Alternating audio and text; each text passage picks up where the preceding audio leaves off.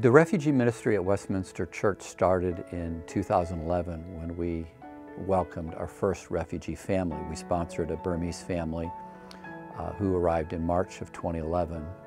And uh, that family is still part of our church. They're members. Um, they've done very, very well in America and um, become citizens. They own their own home, they have good jobs, and they've made a great adjustment.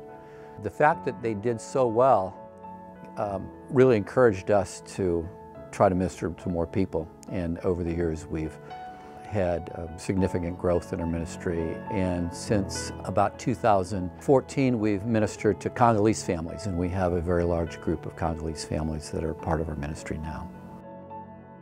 I came to this country in 1987 from Kenya, and I came as a student at Lancaster Bible College.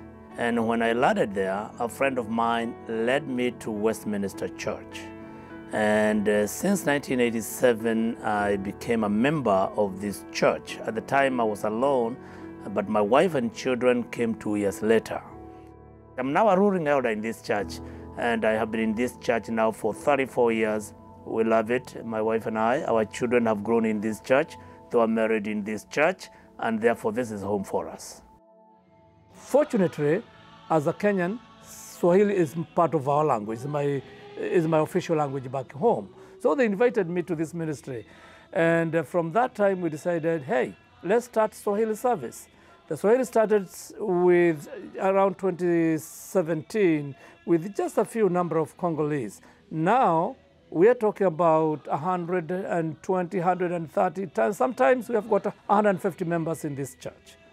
Our Congolese worship service is an amazing experience to come into from a cultural point of view. Um, our worship tends to be very formal at Westminster and the worship is very vibrant and very dynamic.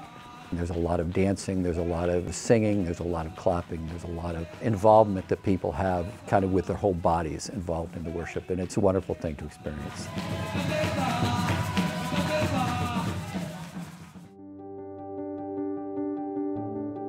The core of our ministry here really involves English language skills, trying to help people to learn English and to become acclimated to the culture by learning English, learning to read English, learning to speak English. And then we have a number of ministries where we, we just we do different things for people to sort of help them, whatever their situation is, help them to acclimate to America and help them to understand how to live in an American culture. Our tutoring ministry meets once a week and the students are picked up by volunteers in the church uh, after school and they come here to the church and they are assigned almost a one-on-one -on -one tutoring situation and they tutor from 4 till 5.15. We give them a snack before we start tutoring because they've had a long day at school and they're hungry. And some of them participate in choirs and then afterwards they participate in the clubs and the groups here at the church. So um, we really wanted to enfold them more into the activities of the church. I've been working with a 15-year-old who really, um, he needs a lot of re remedial help. He's just not where he ought to be. Given the conditions of coming out of a refugee camp in Congo, I asked him if there was things that he wanted me to pray about for him, and he said, I don't want to think about those things. And I think there's, there were some very difficult situations that many of the refugees faced when they were back in their home countries.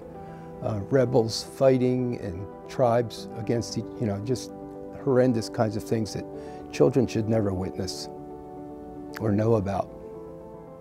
So yeah, so I've been very careful not to tread on those parts of his life. I think he wants to move forward and away from that.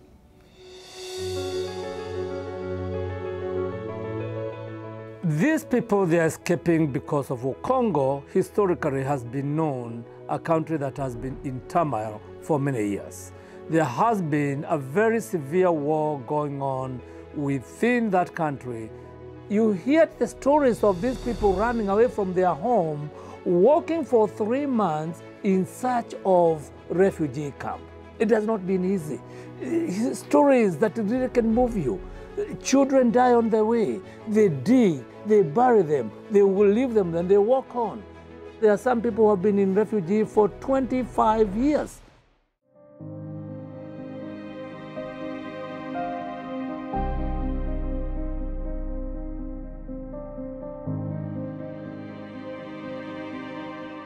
Ninety-two times in the Old Testament, he says you are to love the stranger. 92 times. There's very few things that he says 92 times to his uh, people. And God, when He encourages us, I truly believe is not just encouraging us because this is a nice thing to do. He has a plan, not just for that stranger, but for us. And if we are to grow in our faith, we have to get out of our comfort zone. It's that way with loving the stranger. It may not be the most comfortable thing that we do, but it's what God uses to turn us into the people He calls us to be and that those are turning points in our life before Him. I think it's easy um, with all the wealth and privilege that we have in this country to think that we have a lot to offer um, to foreigners and sojourners in our country. And we do, that's, that's true. But we've got nothing on them when it comes to faith these followers of Jesus that are coming, their faith has been tested to the brink.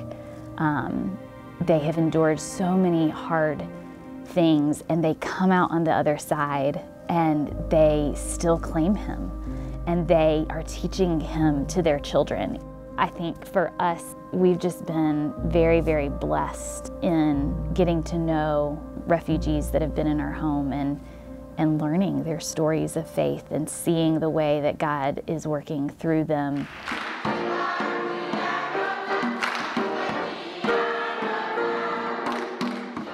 The reason uh, we think a choir is important is because music is such an essential part of their culture. I heard someone say that music is really kind of in their DNA and it's just part of their joyful expression. It's um, a huge part of the way they express their faith. I think that um, children are remarkably resilient and um, singing is a way for them to um, process through some of the, the trauma that they've experienced. Uh, there's a lot of really high mountains that they have to climb and if choir can just be an opportunity for them to um, have that creative expression and, and praise to our Heavenly Father, then I think that's a wonderful experience for them.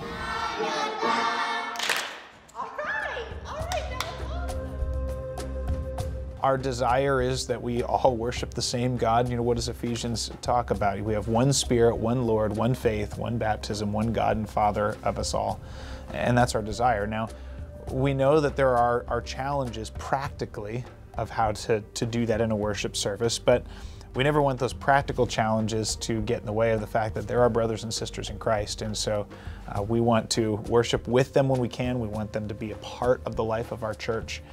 We hope that the first generation feels welcomed, cared for, heard. Uh, we learn from them as well. We hope that the second generation really grows up as part of our church so that the DNA of our church will be represented by folks who have come from all over the world and are able to worship together. I think the church in America has an amazing opportunity as God brings the nations into our communities. Many of these people coming to America come from a Christian background and that's why they fled their country because they were being persecuted. Um, and many of the people who don't have a Christian background are very open to the gospel because they're in a new culture. And so I think there's an openness now and there's an opportunity that's unprecedented. Personally, for me, it has opened my heart up to the, the needs in the world. I would say that I probably was a very local Christian in my, in my view. When first started in the church, I'm sure that there were plenty of people in the church, including myself, who went, wow, this is inconvenient.